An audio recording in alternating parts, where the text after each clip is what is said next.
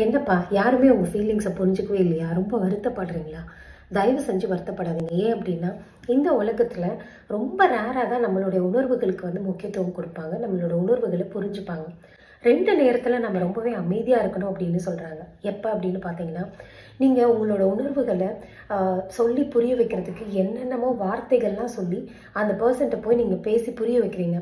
ஆனால் அவங்களுக்கு அது புரியவே இல்லை. அந்த இடத்துல உங்கள் டைமை வேஸ்ட் பண்ணாமல் அமைதியாக அந்த இடத்துக்கு போயிடலாங்க. இன்னொரு கேஸ் எப்படி இருக்கும் அப்படின்னு பார்த்தீங்கன்னா நீங்கள் அவங்க கிட்ட போய் எதுவுமே சொல்ல வேணாம். அவங்க மூச்சை பார்த்த உடனே அவங்க சொல்லிடுவாங்க இவன் இந்த ஃபீலிங்ஸில் இருக்கா?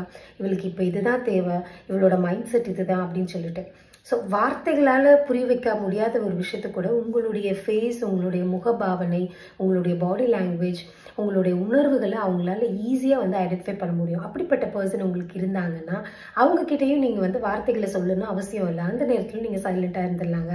ஸோ இப்படி நான் இப்போ ரெண்டாவதாக சொன்னேன் இல்லையா? எந்த வார்த்தையுமே சொல்லாமல் உங்களுடைய உணர்வுகளை புரிஞ்சுக்கிற ஒருத்தர் உங்களுக்கு இருக்கிறாங்க அப்படின்னா உண்மையிலே நீங்கள் ரொம்பவே லக்கியஸ்ட் பர்சனுங்க அப்படி ஒரு பர்சன் இருக்காங்க அப்படின்னா கமெண்ட்ஸில் சொல்லுங்கள் எல்லா வார்த்தையும் சொல்லி அவங்களுக்கு எதுவுமே புரியலன்னா தயவு செஞ்சு அவங்க கிட்ட போய் டைம் வேஸ்ட் பண்ணாமல் சைலண்ட்டாகவே போயிடலாங்க.